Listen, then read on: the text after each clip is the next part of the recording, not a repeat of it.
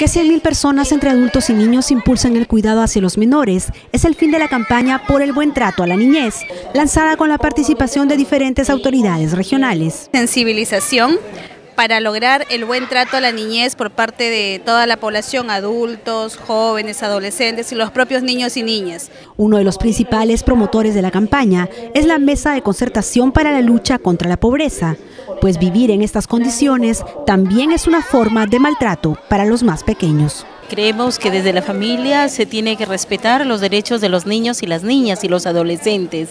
Y luego también en el extracto público, donde los servicios públicos del Estado deben brindarse con calidad y calidez a nuestros niños, garantizar ese desarrollo humano integral en nuestra niñez. Los niños y las niñas también expresaron su sentir ante el maltrato y los problemas que afrontan quienes tienen su misma edad.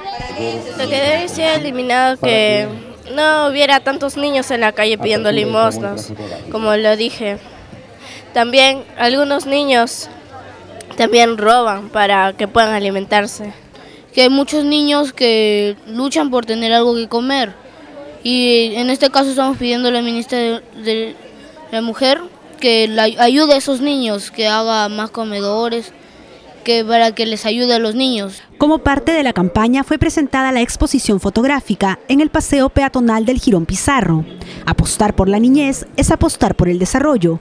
Que esto se haga posible está en manos de todos los liberteños. Que ellas, con el dinamismo, con la alegría de la juventud,